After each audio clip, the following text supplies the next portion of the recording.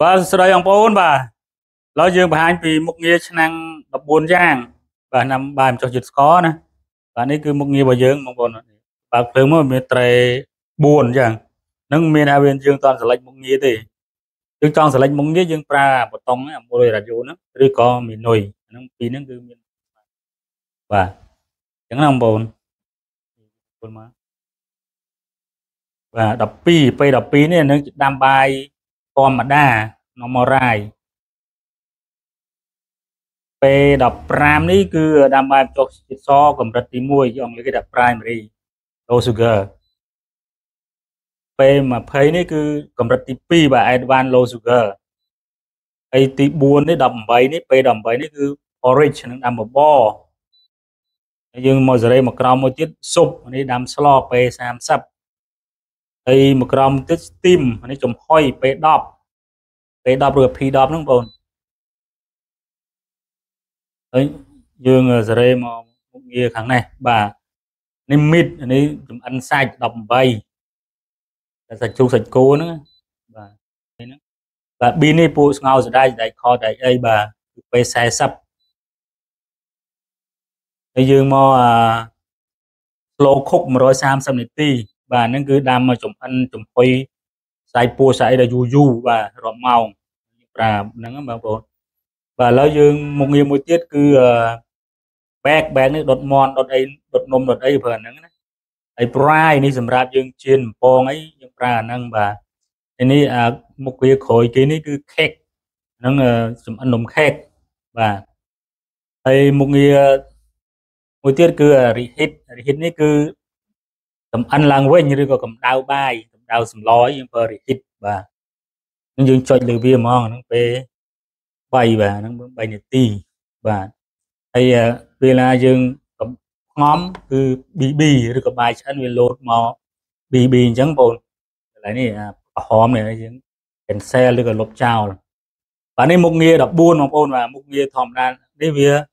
12ហើយ repeat ហើយនឹងមុខនេះមួយទៀតវាឡើង14មុខងារបងប្អូន ហើយខាងនេះ mode បាទយើងអាចដូរ mode វាបានហើយខាងនេះ timer បាទតែម៉ោងនឹងតើយើង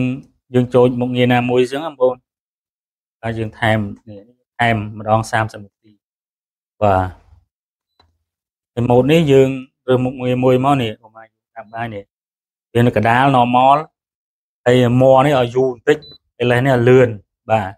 ម៉ូតនេះយើងរើសមុខងារមួយមកនេះកុំឲ្យតាមបាយនេះវានៅកដាល normal ហើយម័នេះឲ្យយូរបន្តិចឥឡូវនេះឲ្យលឿនបាទអញ្ចឹងម៉ូតវាមាន3ហ្នឹងបងប្អូនណាបាទនេះគឺមុខងារឆ្នាំងបាយអឺ low sugar press compressor បាទគឺអានេះវាប្រភេទឆ្នាំងបាយយើងចុះជាតិស្ករផងហើយនឹងប្រើសម្ពាធខ្យល់ផងអញ្ចឹងមានមុខងាររួមគ្នាហ្នឹងហើយមុខងារសរុប14បាទវាយើងដាំបាយដាំស្លយវាឆាប់ឆ្អិនដោយសារយើងប្រើសម្ពាធខ្យល់ជំនួយបាទនេះមានវ៉ាល់វាក្រួយហ្នឹងបងនេះបាទនេះហ្នឹង បាទឡើងបើកវ៉ាល់វាឡើងខ្យល់ណាបាទអញ្ចឹងវាមានខ្យល់បិទបើកខ្យល់បាទនេះមើលសញ្ញានេះបងប្អូនបាទនេះបើកនេះបិទ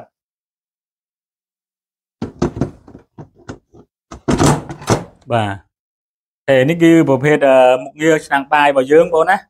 ងារទាំង14ហើយនឹងមុខងារផ្សេងផ្សេងទៀតមាន mode មាន timer បាទអញ្ចឹងយើងនឹង ចូលមើលការដាំបាយទាំងអស់គ្នាបងប្អូនឆ្នាំងយើងវាមាន2ជាន់អញ្ចឹងបងប្អូនណាបាទនេះសម្រាប់ឆ្នាំងឆ្នាំង2ជាន់នេះឆ្នាំងចម្រោះជាតិស្ករយើងដាំជាតិស្ករយើងទៅដាក់ឆ្នាំឆ្នាំងបាយត្រួតគ្នាអញ្ចឹងណាហើយយើងដាក់អង្ករពីក្នុងហ្នឹងមកហើយទឹកហើយនឹងអង្ករស្មើគ្នាត្រឹមនេះករណីយើងដាំមុខងារម្ចុះជាតិស្ករកម្រិតទី1កម្រិតទី2ឬក៏យើងប្រើមុខងារ steam មកចំហុយយើងប្រើឆ្នាំងយ៉ាងដែរបាទ អញ្ចឹង3មុខងារយើងប្រើហ្នឹងហើយមុខងារផ្សេងទៀតយើងដោះនេះចេញបាទយើងប្រើឆ្នាំងឆ្នាំង6លីត្រនេះឆ្នាំងធំនេះបាទនឹងផ្ងាស៊ុបដាំបាយធម្មតាគឺយើងដូចឆ្នាំងយើងទូទៅដែរហើយនឹងដល់ស៊ុបង៉ុយឡយើងប្រើឆ្នាំងនឹងដាំប្រយណាបាទសំណាងអឺសម្រាប់ឲ្យឆ្នាំងចម្រោះនេះយើង